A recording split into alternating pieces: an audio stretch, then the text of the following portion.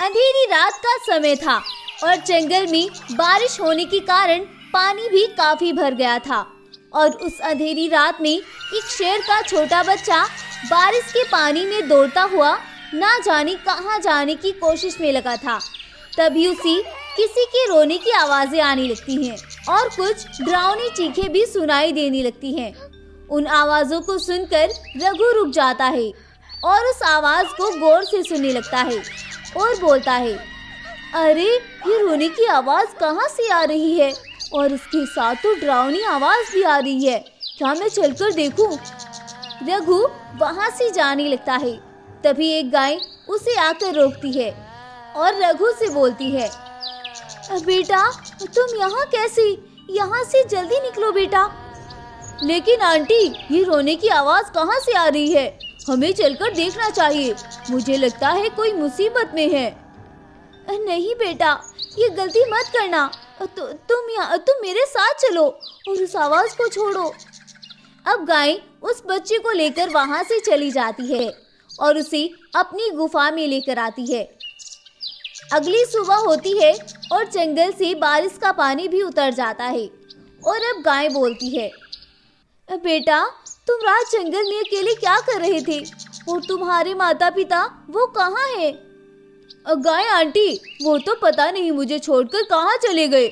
मैंने उन्हें काफ़ी ढूंढा, लेकिन मुझे वो कहीं भी नहीं मिले गाय आंटी। गाय आंटी, क्या मैं आपके साथ रह सकता हूँ? हाँ हाँ बेटा, क्यों नहीं?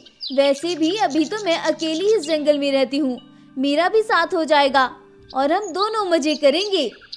अब रघु गाय के साथ जंगल में रहने लगता है और गाय भी बिल्कुल अपने बेटे की तरह ही उसका ख्याल रखती है। दिन ऐसे ही बीतते हैं और एक दिन गाय एक नन्हे बच्चे को जन्म देती है। गाय के छोटे बच्चे को देखकर रघु बोलता है, गाय माँ, क्या ये मेरी बहन है? मैं इसे अपनी बहन बुला सकता हूँ? हाँ बेटा, ये तुम्हारी बहन ही तो है और तुम्हें इसका ख्याल भी रखना है हाँ माँ, मैं इसका अपनी जान से भी ज़्यादा ख्याल रखूँगा और उसे खूब लाड प्यार करूँगा। अब गाय अपने दोनों बच्चों के साथ खुशी से जंगल में रहने लगती है। दिन ऐसे ही बीतते हैं। एक दिन रघु और उसकी बहन श्रेया दोनों अपनी माँ के बताए हुए काम के लिए जंगल में जाते हैं और वो दोनों गलती से उसी रास्ते में चले जाते हैं। जिस रास्ते से उस दिन रघु को चीखों की आवाज़ें आ रही थी। तभी रघु को फिर से वही चीखों की आवाज़ें आने लगती है। ये आवाज़ें सुनकर श्रेया डर जाती है और वो बोलती है भाई, मुझे इन आवाजों से बहुत डर लग रहा है। हमें वापस चलना चाहिए भाई। श्रेया, मैं हूँ ना तुम्हारे साथ। और फिर तुम क्यों डर रही हो? मेरे होते हुए तुम्हें कैसा डर? तुम आगे आगे चलो। मैं तुम्हारे पीछे पीछे आता हूँ। नहीं भैया, आप आगे चलो। मैं आपके पीछे पीछे चलूँगी। मुझे बहुत डर लग रहा है। अब रघु श्रेया के आगे चलता है और श्रेया उसके पीछे पीछे चलने लगती है। तभी कुछ दूर चलने पर रघु देखता है कि श्रेया अचानक से गायब हो जाती है। ये सब देखकर रघु बहुत परेशान हो जाता है और वो श्रेया को ढूँढने लगता है। तभी गाय भी वहाँ आ जाती है और जब गाय रघु को अकेला देखती है तो बोलती है अरे रघु बेटा, श्रेया, वो कहाँ चली गई? गाय माँ, श्रेया तो पता नहीं कहाँ चली गई। मैंने उसे बोला था कि तुम मेरे आगे चलो, लेकिन उसने मुझे मना कर दिया और फिर वो अचानक से ना जाने कहाँ गायब हो गई। गाय जब यह सुनती है तो उसे रघु पर ही शक होने लगता है। उसे लगता है कि शायद रघु उसे मार कर खा गया और वो रघु को नफरत भरी नज़रों से देखती है। रघु भी गाय की नज़रों को पहचान जाता है और वह बोलता है, गाय माँ, क्या आप मुझ पर शक कर रही हैं? रघु के ऐसा बोलने पर गाय उसकी बात सुने बिना चली जाती है तभी फिर से वो रोने की आवाज़ें आने लगती हैं और गाय भी ना जाने कहाँ गायब हो जाती है अब रघु पहले इन डरावनी आवाजों के सच को जानने के लिए उस आवाज़ का पीछा करता है और वह जल्द ही उस आवाज़ के पास पहुँच भी जाता है। वहाँ जाकर रघु को जो कुछ दिखता है, उसे देखकर वह डर जाता है। वहाँ रघु देखता है कि उसके माँ बाबा उस आवाज़ को जंगल के जानवरों को अपनी ओर बुलाने के लिए निकाल रहे हैं और उन्होंने उसकी गाय माँ और श्रेया को ऊपर लटकाया हुआ है। ये सब देखकर रघु आता है और सबसे पहले वो अपनी बहन और गाय माँ को नीचे उतारता है और रघु को देखकर शेरनी बोलती है रघु बेटा तु, तु, तुम यहाँ? मैंने तुम्हें कितना याद किया बेटा। और देखो हम अपने मकसद में कामयाब होने के बस कुछ ही दिन दूर है। फिर हमारी ज़िंदगी बहुत आसान हो जाएगी। अच्छा अगर इतना ही याद किया तो छोड़कर क्यों गई थी आप मुझे? बेटा मेरी मजबूरी थी। ये जो कुछ भी हम कर रही हैं, हम सब तुम्हारे लिए ही कर रही हैं। हम बहुत जल्द शक्तियाँ प्राप्त कर लेंगे। फिर इस दुनिया में कोई हमसे ज़्यादा ताकतवर नहीं होगा। आप चुप करें। चलो गाय माँ यहाँ से। और श्रेया, तुम भी। और हाँ माँ, आज के बाद अगर आपने मेरे परिवार को इस नज़र से भी देखा तो अच्छा नहीं होगा। ये मेरा वो परिवार है, जिसने मेरा उस वक्त साथ दिया, जब मैं अकेला था। और तुम दोनों ने अपनी इस लालच के चक्कर में मुझे छोड़ दिया था। अब रघु वापस आता है। गाय अब रघु से बहुत शर्मिंदा थी और उसे अपनी गलती का एहसास भी हो गया था। रघु बेटा, मुझे माफ़ कर दो। मैंने तुम पर शक किया। मैं तो माँ कहलाने की लायक भी नहीं रही। प्लीज़ मुझे माफ़ कर दो बेटा। नहीं माँ, आप मुझसे माफ़ी क्यों मांग रही है? आप मुझे डांटे और मुझे सही रास्ता दिखाए। ये आपका हक है। और एक बात और माँ, श्रेया मेरी बहन है। और इसके साथ मैं वो सब करने का सोच भी नहीं सकता। मैं जानती हूँ बेटा, इसीलिए मैं तुमसे माफ़ी मांग रही हूँ। मैं अपने किए पर बहुत शर्मिंदा हूँ। अब रघु वापस अपने माता पिता के पास जाता है और उन्हें चेतावनी देता है और उन्हें उस जंगल से जाने का बोलता है। अब बेटा, तुम ऐसा क्यों बोल रहे हो? बस कुछ ही दिन बचे हैं। हमें हमारी शक्तियाँ मिल जाएगी। फिर तुम्हारी और हमारी ज़िंदगी और आसान हो जाएगी। अच्छा तो आप इसीलिए यहाँ ज़िंदा जानवरों की बलि देती हैं। माँ, इन अंधविश्वासों से बाहर निकल आओ और उस जंगल के जानवरों को बख्श दो। अगर कोई और होता तो मैंने कब का उसे मार देना था? आपने मुझे जन्म दिया है, इसीलिए मेरे हाथ बंधे हुए हैं। प्लीज़ यहाँ से चले जाओ। ऐसा ना हो कि मुझसे कुछ अनहोनी हो जाए। अब शेरनी रघु से माफ़ी मांगती है। और वो दोनों जंगल छोड़कर चले जाते हैं। अब जंगल में फिर से खुशियाँ लौट आती है और रघु अपनी गाय माँ और बहन के साथ खुशी खुशी रहने लगता है। शीख इस कहानी से हमें सीख मिलती है, अगर रिश्ते सच्चे हों तो खून एक होना मायने नहीं रखता है। कभी कभी गैर अपने से ज़्यादा अज़ीज़ हो जाते हैं और वो हमारे लिए वो सब कर जाते हैं जो हमारे लिए अपने भी नहीं कर पाते हैं। तो गाइस आपको ये कहानी कैसी लगी? हमें कमेंट करके ज़रूर बताएँ। और अगर आपको यह कहानी पसंद आई है तो प्लीज़ इस वीडियो को लाइक करें शेयर करें और चैनल को सब्सक्राइब भी ज़रूर कर लें। थैंक यू अमीर बाप, गरीब बेटा और शेरनी की किस्मत। बद्रीपुर जंगल का राजा बाला शेर बहुत अमीर था। उसके पास इतना खजाना था कि उसे खुद भी पता नहीं था कि उसके पास कितना खजाना है। लेकिन वो जितना अमीर था, उतना ही निर्दयी और बेरहम भी था। वो कभी भी अपने खजाने से रत्ती भर भी किसी को नहीं देता था। बाला शेर को अपने खजाने पर बहुत घमंड था। वो जंगल में किसी से सीधे मुँह बात भी नहीं करता था और बस अपनी ही ऐट में जंगल में घूमा करता था। उसी जंगल में एक गरीब शेरनी भी रहा करती थी। वह शेरनी इतनी गरीब थी कि उसके पास खाने के लिए कुछ नहीं था। कभी कभी तो वह बेचारी भूखे पेट भी सो जाया करती थी। शरला शेरनी एक बहुत ही अच्छी और सबर करने वाली थी। उसके पास जितना कुछ था, वो उसी में ही हमेशा खुश रहा करती थी। शेरनी का एक छोटा बेटा था, जिसका नाम था भोला। भोला हमेशा ही अपनी माँ से बोलता था, माँ, हमारे पास इतना पैसा क्यों नहीं है? जितना रघु और उसकी मम्मी पापा के पास है, मुझे भी इतने पैसे चाहिए और इतनी ही ज़्यादा खिलौने भी चाहिए। बेटा, तुम्हें पता है ना, हमारे पास इतना कुछ नहीं है। और आज जब मैं काम पर जाऊँगी तो मैं सुबह तुम्हारे लिए खिलौने ज़रूर लेकर आऊँगी। ऐसा बोलकर शेरनी अपने बेटे को दिलासा देती है। अगली सुबह होती है तो शेरनी अपने काम के लिए निकलती है और वह अपने काम पर लग जाती है। शेरनी हर रोज इधर से उधर लकड़ियाँ ढोने का काम किया करती थी और इसके बदले में उसे जो कुछ भी पैसे मिलते थे उनसे वह अपना और अपने बेटे का पेट भरती थी। शेरनी को आज काम करते करते रात हो जाती है और उधर उसका बेटा अपनी माँ का इंतज़ार कर रहा होता है। शेरनी इधर अपने बेटे को लेकर बहुत परेशान थी, लेकिन आज उसका काम खत्म होने का नाम ही नहीं ले रहा था।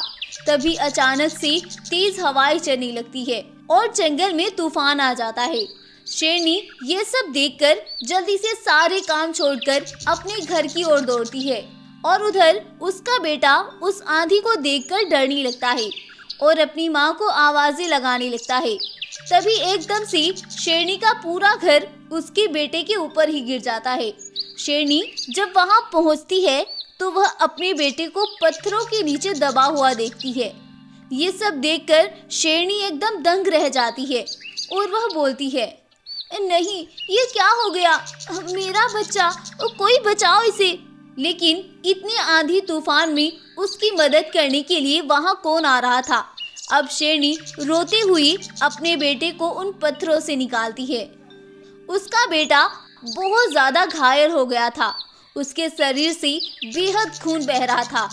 अब शेरनी जल्दी से अपने बेटे को लेकर आंधी तूफ़ान से जूझती हुई भालू हकीम के हॉस्पिटल लेकर जाती है। भालू हकीम उसके बेटे को ठीक करने के लिए सो सोने के सिक्के माँगता है। अब शेरनी बोलती है, अब भालू भाई, मैं कैसे भी करके आपकी पाई पाई चुका दूँगी, लेकिन पहले आप मेरे बेटे को ठीक कर दो। अभी मेरे पास पैसे नहीं हैं। नहीं, पहले तुम्हें सारे पैसे जमा करने होंगे। उसके बाद ही मैं इलाज शुरू करूँगा। उससे पहले मैं कुछ नहीं कर सकता। पहले पैसे लेकर आओ। अब शेरनी को कुछ भी समझ नहीं आ रहा था और वह दौड़ती हुई बाला शेर के पास जाती है। और वहाँ जाकर वह बाला शेर से बोलती है, बाला शेर महाराज प्लीज़ मेरी मदद करो। मेरा बेटा बहुत मुसीबत में है। वो बहुत घायल हो चुका है और वो तो मरने की कगार पर पड़ा है। प्लीज़ आप मेरी मदद करो और मुझे कुछ पैसे उधार दे दो। मैं जल्द ही आपके सारे पैसे लौटा दूँगी। हैं? मैं तुम्हारी मदद करूँगा। तुमने सोच भी कैसे लिया? बाला शेर महाराज, तुम इसके बदले चाहे मुझसे मेरी सारी ज़िंदगी ले लो। मैं पूरी ज़िंदगी तुम्हारी गुलामी करूँगी। लेकिन मेरे बेटे को बचा लो, प्लीज़। मुझे कुछ पैसे दे दो। चलो जाओ यहाँ से। मैं तुम्हारी मदद नहीं करूँगा। और दोबारा मेरे इलाके में नज़र भी नहीं आना। शेनी बेचारी वहाँ से मायूस होकर लौट जाती है। और वह सीधा भालू के पास जाती है। लेकिन तब तक उसका बेटा अपनी आखिरी साँसें भी तोड़ देता है और वह मर जाता है। शेरनी बेचारी मायूस होकर अपने बेटे को लेकर एक गड्ढे के अंदर लाकर दफन कर देती है। लेकिन अब उसके मन में बहुत गुस्सा भरा था। वो कुछ भी करके उन दोनों को खत्म कर देना चाहती थी। वो उन दोनों को अपने बेटे का कातिल समझने लगती है। कुछ दिन ऐसे ही बीतते हैं और शेरनी हर दिन मौके की तलाश करती है। कुदरत भी उसके साथ थी। एक दिन सुबह सवेरे बाला शेर जब जंगल में घूम रहा था तो वह घूमते घूमते एकदम से ज़मीन पर गिर जाता है और उसे पूरा जंगल घूमता हुआ नज़र आता है। बाला शेर को ऐसे ज़मीन पर पड़ा देखकर सभी जानवर वहाँ इकट्ठा हो जाते हैं। लेकिन कोई भी जानवर उसके पास नहीं आ रहा था। अब शेर बोलता है, अरे, मुझे कोई उठाओ, अरे, कोई भालू डॉक्टर को ही बुला लाओ। शेर के पुकारने पर भी कोई भी जानवर उसके पास तक नहीं आता है। तभी शेरनी भी वहाँ आ जाती है और वो जब शेर का यह हाल देखती है तो बोलती है आज तुम्हें एहसास होगा कि दुख क्या होता है। उस दिन मैं भी तुम्हारे पास अपने बेटे की ज़िंदगी की भीख मांगने आई थी। लेकिन तुमने मेरे साथ जो शुरू किया था, उसका सिला तुम्हें मिलना ही था। अब लाओ अपने पैसे को निकाल कर और उससे अपनी खुद मदद करो। और अभी तो रुको जरा, मैं अभी तुम्हें बताती हूँ। अब शेरनी जल्दी से दौड़ कर जाती है और एक बोतल मिट्टी के तेल की लेकर आती है और उसे शेर के ऊपर छिड़क देती है। अरे शेरनी, ये तुम क्या कर रही हो? ऐसा मत करो। मैं तुमसे माफ़ी माँगता हूँ। चाहे तो तुम मेरा सारा खजाना अपने पास ही रख लो, लेकिन मुझे मत मारो। लेकिन शेरनी, इस जालिम शेर की एक भी नहीं सुनती है, और उसे आग से जला देती है, और शेर वहीं पर जलकर मर जाता है। अब जंगल के सभी जानवर शेरनी को ही उस जंगल की राजगद्दी सौंप देते हैं, और शेरनी को बाला शेर का सारा खजाना भी मिल जाता है। लेकिन अब उसे कोई खुशी नहीं थी। अब शेरनी को वो सारा खजाना फिजूल लग रहा था और वो उस सारे खजाने को लेकर उस भालू के पास जाती है और उससे बोलती है, भालू, तुमने इन पैसों के लिए ही मेरे बेटे का इलाज नहीं किया था। ये लो पैसे और आज के बाद इस जंगल में दिखाई मत देना। ये तुम क्या बोल रही हो? ये मेरा हॉस्पिटल है और मैं यहाँ से क्यों जाऊँ? तुम शायद नहीं जानते कि ये मेरा जंगल है। और मैं इस जंगल की रानी हूँ। मैं जिसे चाहूँ, अब इस जंगल में रखूँगी। इसीलिए अब तुम यहाँ से जा सकते हो और दोबारा मुझे इस जंगल में दिखाई भी मत देना, वरना यही मार डालूँगी। अब शेरनी उस भालू को भी अपने जंगल से चलता करती है और उस जंगल की महारानी बनकर उस हॉस्पिटल में मुफ़्त इलाज करवाती है और इस तरह से वो अपना बदला भी पूरा कर लेती है और ये कहानी भी यहीं पर खत्म हो जाती है। सीख इस कहानी से हमें सीख मिलती है कि अगर हमारे पास एक तिनका भी है, जिससे हम किसी की मदद कर सकते हैं तो हमें तिनका भर भी किसी की मदद ज़रूर करनी चाहिए। उसे कभी मायूस नहीं लौटाना चाहिए, वरना कुदरत भी हमारे साथ कुछ ऐसा ही सलूक करती है। तो गाइस आपको ये स्टोरी कैसी लगी? हमें कमेंट करके ज़रूर बताएँ। और अगर आपको ये कहानी पसंद आई है तो प्लीज़ इस वीडियो को लाइक करें शेयर करें। और हमारे चैनल को सब्सक्राइब भी ज़रूर कर लें। थैंक यू जंगल से कुछ दूर एक नदी हुआ करती थी। अक्सर ही जंगलवासी उस नदी से तैरकर दूसरे जंगल जाते थे। वो नदी दो जंगलों में जाने के लिए एक दीवार की तरह थी। अगर जंगल वासियों को किसी काम से दूसरे जंगल में जाना पड़ जाता था तो वह उस नदी को पार करके दूसरे जंगल पहुँचते थे। लेकिन उस नदी को पार करना इतना आसान नहीं था। अक्सर ही उस नदी को पार करने